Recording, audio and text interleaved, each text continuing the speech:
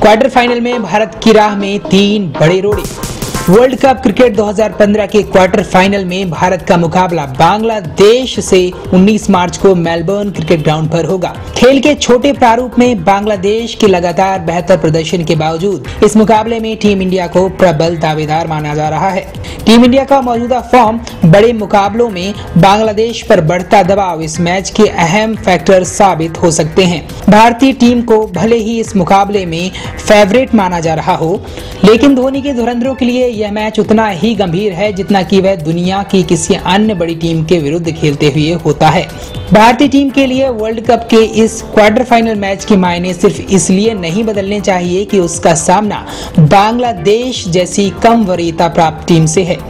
बांग्लादेश ने group stage में England जैसी टीम को हराया है और न्यूजीलैंड को भी बहुत मुश्किल से जीतने दिया है। भारतीय टीम इस मैच को कतई हल्के में नहीं लेगी। भारतीय कप्तान धोनी बांग्लादेश की ताकत से वाकिफ हैं और वे बांग्लादेश को हावी होने का कोई मौका नहीं देना चाहते। भारतीय टीम को बांग्लादेश के खिलाफ इन तीन खतरों से निपटना होगा। खतरा नंबर एक, महमदुल्लाह। महमूदुल्लाह ने अब तक पाँच मैचों में छियासी के शानदार औसत से कुल 344 रन बनाए हैं। उनके बल्ले से लगातार रन निकल रहे हैं। इंग्लैंड व न्यूजीलैंड के खिलाफ उन्होंने शतक लगाकर अपने देश के लिए नया इतिहास भी रच दिया है। खतरा नंबर दो, रुबैल हुसैन। रुबैल हुसैन ने पाँच मैचों में पाँच दशमलव नौ सात की इकॉनमी रेट के साथ सात विकेट निकाले हैं और वे इस टूर्नामेंट में बांग्लादेश के सबसे सफल गेंदबाज हैं। इंग्लैंड के खिलाफ रुबैल ने बेहतरीन प्रदर्शन किया था और बांग्लादेश की जीत में एक महत्वपूर्ण भूमिका निभाई थी। खतरा नंबर तीन, शकीब अल हसन।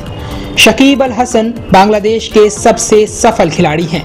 शकीब ने अब तक खेले गए पाँच मैचों में एक सौ छियासी रन बनाए हैं। वह साथ में सात विकेट भी लिए हैं।